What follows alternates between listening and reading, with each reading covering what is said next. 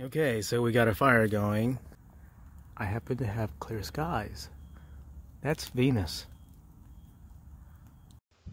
Welcome back, everybody. It is 7th April 2020, and as of this video recording, Atlas is still intact and uh, it will not hit the Earth.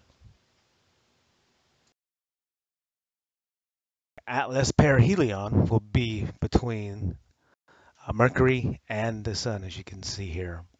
It's coming in from the top and it's going to exit out through the bottom. It's definitely on a different plane, so um, it's going to slice right through.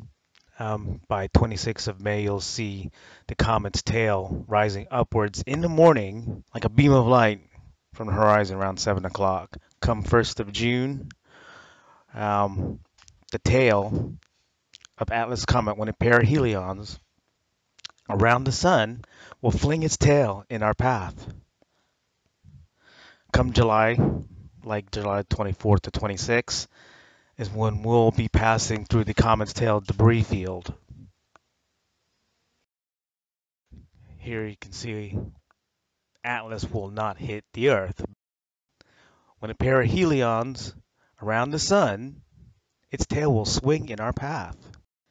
If when we do pass through Atlas's tail debris, I'm hoping for a safe meteor shower. Atlas will continue outward with its tail leading the way away from the sun.